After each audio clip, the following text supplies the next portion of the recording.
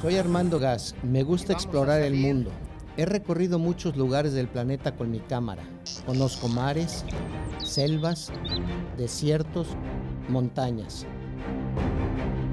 Soy un apasionado de la vida y un enamorado de la naturaleza. Disfruto cada encuentro y quiero compartirlo contigo. Acompáñame.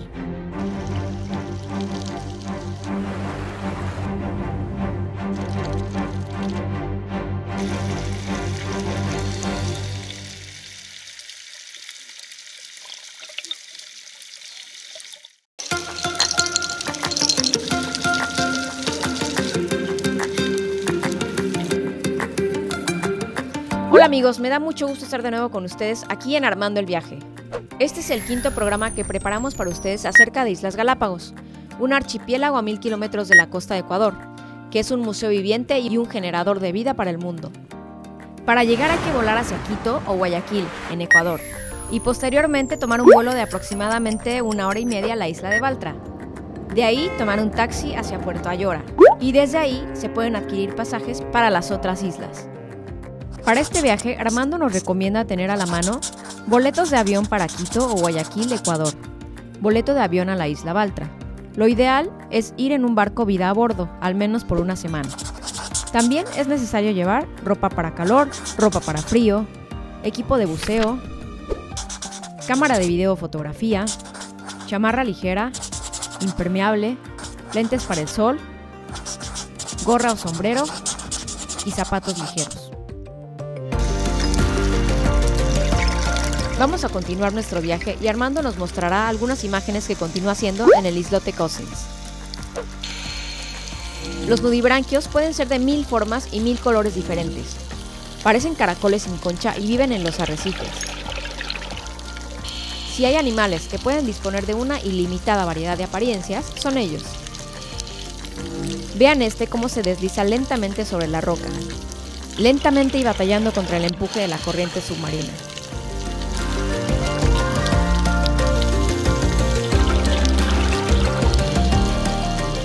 Las rayas águila parecen dos aves que vuelan lentamente a la distancia. La cabeza parece la de un avión de pasajeros. Son animales tranquilos y permiten el acercamiento de los buzos. Miren a qué distancia podemos estar de ellas para grabarlas con mayor detalle. Cohabitan con innumerables peces en el fondo marino y me llama mucho la atención cómo todos estos seres vivos pueden convivir con armonía. Los seres humanos debemos aprender. Vean esta toma. Prácticamente podía tocarla de haberlo querido. Es un animal muy bello, es espectacular. Gracias a su nado tranquilo, pude grabarla y podemos ver estas imágenes.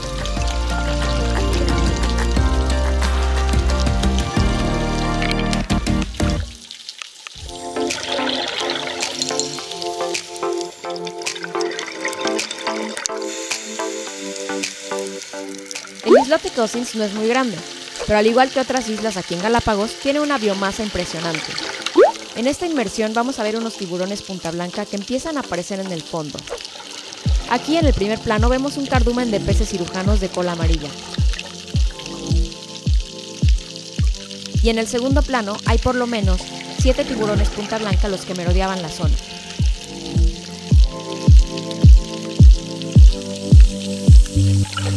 Mucho se ha dicho que los tiburones son agresivos. Yo no comparto esa idea. Si los tiburones verdaderamente no quisieran vernos dentro del agua, no nos dejarían. Bastaría una advertencia de su parte o una intimidación para salirnos. Y vean, en cambio, cómo son tolerantes conmigo mientras los grabo. Es más, no me hacen ni caso. Simplemente estoy a una distancia que no interfiero en su ir y venir.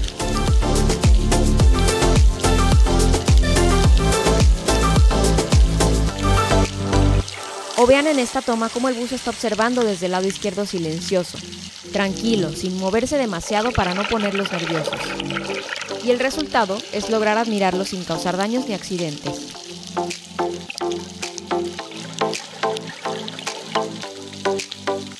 Los peces mariposa viven en los arrecifes. Nadan entre las rocas y corales. Se encuentran entre los más pequeños habitantes del fondo del mar. También habitan en aguas tropicales. Hay más de 100 especies conocidas como pez mariposa. Se distribuyen en el Océano Atlántico, en el Índico y aquí en el Pacífico. Su hábitat es solo agua salada y es raro que su tamaño rebase los 10 centímetros de longitud.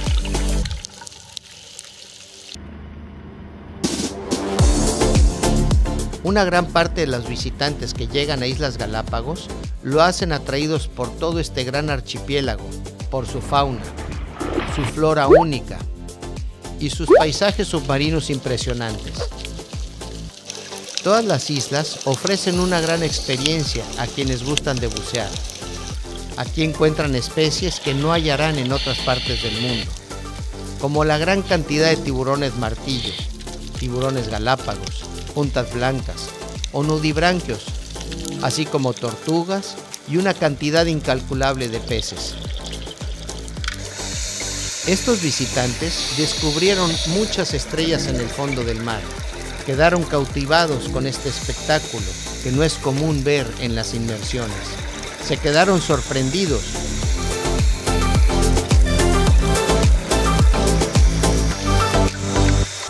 Por cierto, y hablando de turismo, hay una época del año que no es tan recomendable para venir, que son los meses de julio y agosto.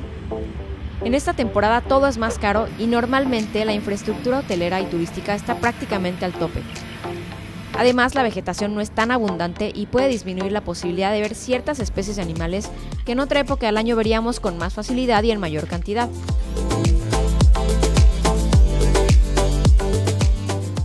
Cuando nos dirigíamos hacia la superficie, nos encontramos un enorme cardumen de barracudas. Las barracudas suelen frecuentar las zonas poco profundas y costeras, donde proliferan presas fáciles, donde las aguas son más cálidas. También se pueden encontrar en zonas de manglares. En cualquier parte del mundo es posible encontrarse con ellas. Lo recomendable es no molestarlas, porque es un pez que al defenderse puede lesionar gravemente. En cambio, en otro momento nos vimos en medio de un denso cardumen de pequeños peces plateados. Nos quedamos quietos y siguieron su camino mientras nosotros permanecíamos admirando la gran cantidad que nos rodeaba.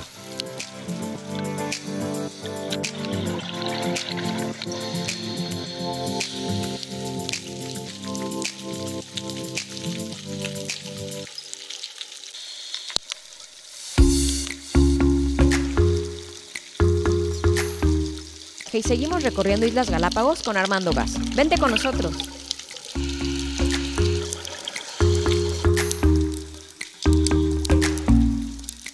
En este segundo bloque del programa iremos a bucear a Gordon Rock, y es una zona que alguna vez fue volcán. Son tres elevaciones de roca volcánica que surgen de la superficie del océano y conforman una media luna como de 100 metros de diámetro. Es una zona donde la vida submarina es abundante y se arremolina entre los vericuetos del mar. Se puede bucear desde los 5 metros hasta los 40, acompañado de la gran cantidad de vida, sobre todo entre los 18 y los 40 metros. Las paredes de este cráter dan la sensación de un abismo, dada su inclinación. Si algo ofrece Islas Galápagos al visitante es un sinnúmero de sitios llenos de vida marina. La experiencia del visitante es maravillosa e inolvidable. Es la naturaleza de esta región del mundo. Cada año llegan más de 150.000 personas a visitarlas y Gordon Rock es uno de los puntos más espectaculares para bucear.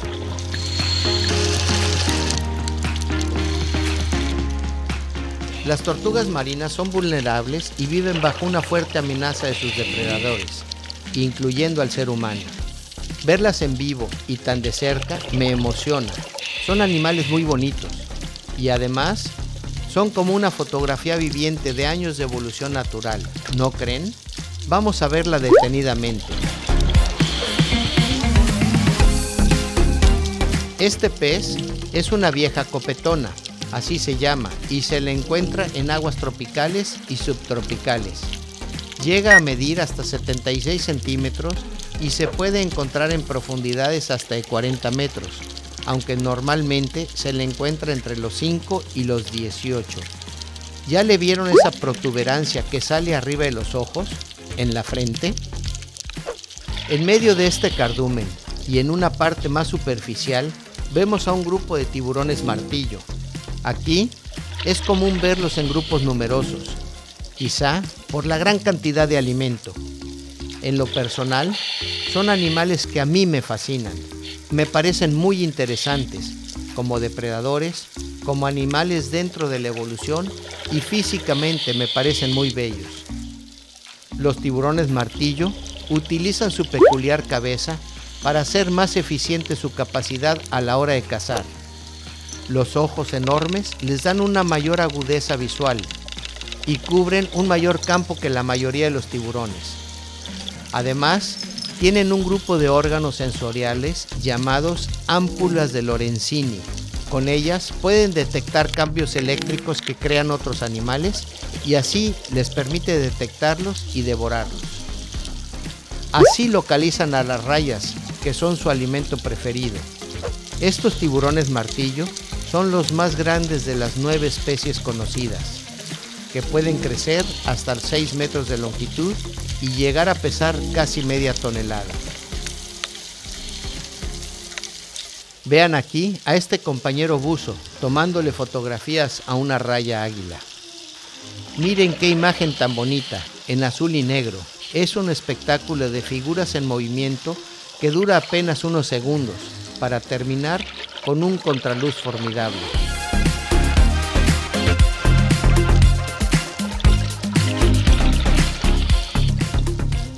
Las palometas son estos peces de color gris parduzco y que se encuentran en el Océano Atlántico, en el Índico y aquí en las aguas del Pacífico. Son peces que habitan y se desplazan en grandes cardúmenes. Son muy codiciados por la calidad de su carne y por la abundancia que hay de esta especie en los mares. Los ejemplares adultos viven en canales, en bancos de arena y en arrecifes. Los jóvenes, en cambio, logran vivir en aguas de baja salinidad. A las palometas es posible encontrarlas hasta los 400 metros de profundidad. Cuando es tiempo de reproducirse se acercan a las costas. En esta imagen los buzos están en el centro de un cardumen enorme.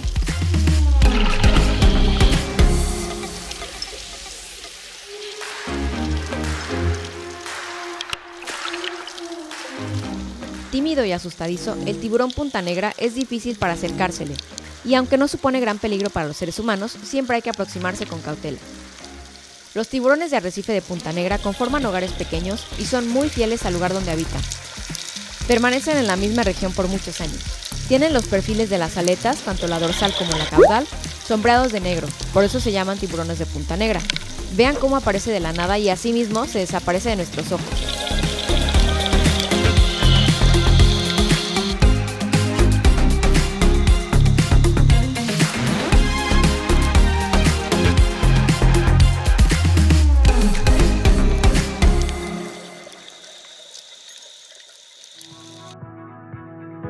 Vamos a seguir nuestra aventura por las lejanas y sorprendentes Islas Galápagos.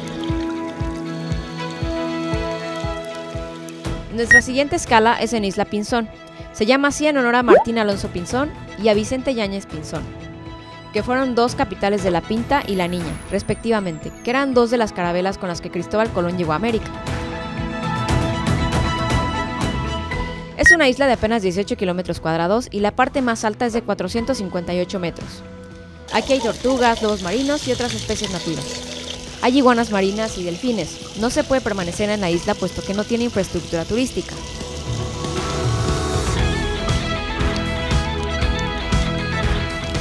Esta es una raya birrostris. Es majestuosa. De estos animales, es la especie de mayor tamaño. Es enorme y no tiene aguijón como otras. Podemos verlas en aguas templadas, su alimento son pequeños peces, plancton y calamares, básicamente. Al igual que los tiburones, a las rayas se les pegan las rémoras y así se alimentan de las sobras de comida. Debajo de la boca tienen dos apéndices como aletas planas. Con ellas se ayudan para atrapar el plancton porque pueden moverlas en la dirección que necesite para capturar más alimento. También a veces las enrolla y le quedan como un par de rizos. Es un animal enorme. Esta medía cerca de 6 metros de punta a punta de las alas.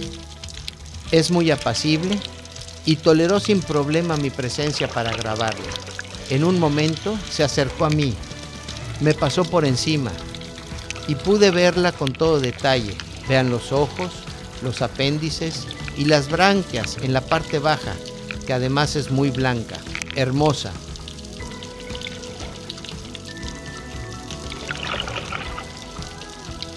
Hay animales que son los genios del mimetismo. Vean esta imagen. ¿Ya encontraron el pez oculto? Les daremos unos segundos. Ahora sí. ¿No? Vamos a ayudarlos. Los ojos están encerrados en este círculo rojo. ¿Aún no? Bueno, esperemos que se mueva. El lenguado se lleva en esta ocasión el premio al mimetismo. Su capacidad de confundirse con el fondo del mar es insuperable.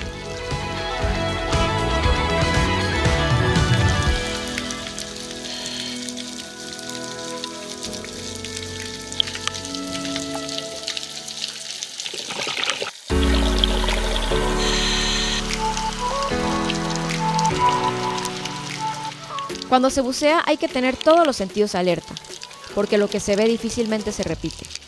Armando encontró esta estrella de mar. Es amarilla y negra, no es del color habitual rojo y blanco, es otra especie, más regordeta. Vamos a verla de cerca.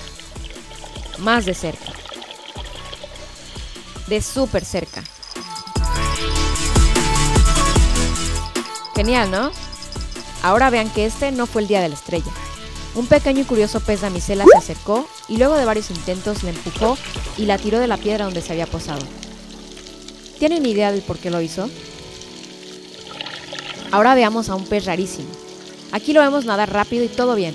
Así podría ser un pez piedra o quizás un pez sapo, pero no, no lo es. Les presentamos al pez murciélago de labios rojos. Y sí, vean su aspecto de murciélago y más adelante podemos verle los labios del rojo carmesí. Este pez no nada, sino que se desplaza de una manera muy particular entre la arena. Tiene un esqueleto que cuenta con una espina en sus aletas. Pertenece a una de las 60 especies que hay en esta familia. El pez murciélago es endémica de Ecuador y de Perú. Podemos encontrarlo entre 3 y 76 metros, pero es más factible encontrarlo en profundidades superiores a los 10 metros. Su longitud máxima es de 40 centímetros y la mínima de 20. La forma triangular que tiene parece que el cuerpo y la cabeza estuvieran aplastados, el cuerpo lo tiene recubierto de escamas, de pelos y de otros bultitos nudosos. De acuerdo con los estudiosos, el color rojo brillante de la boca tiene que ver con la atracción sexual dentro de su especie. Este es un pez carnívoro, que se alimenta de otros peces más pequeños. También come camarones y calamares. Para atraer a sus presas libera un fluido que sirve como carnada. Esta especie no se encuentra amenazada. Pero qué pez tan extraño, ¿no?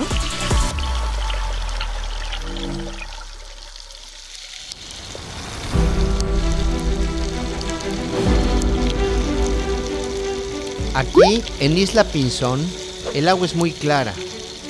Mientras vemos este pez vieja de color amarillo, también podemos ver a detalle la textura y los colores en el fondo del mar. Y a estos peces cirujano de cola amarilla alimentarse.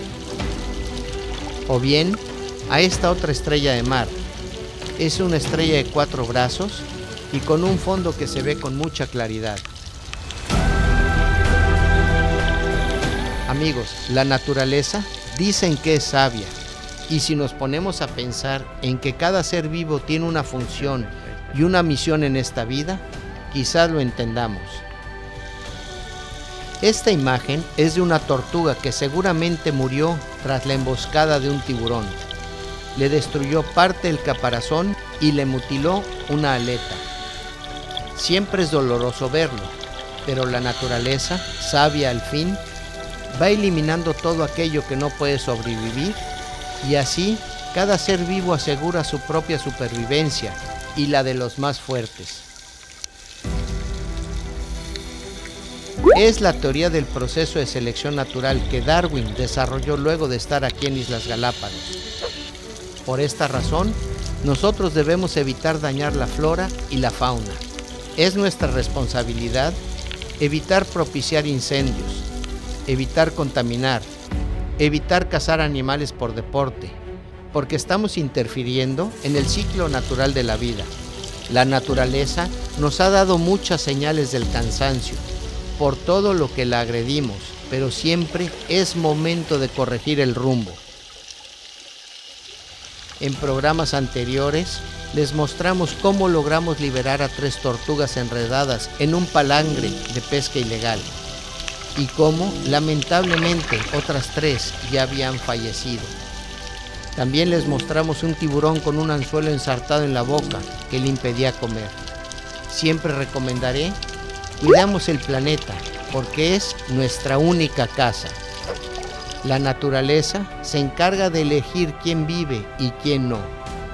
Y nosotros debemos respetarlo para tener una vida más larga y más plena en armonía con el mundo natural.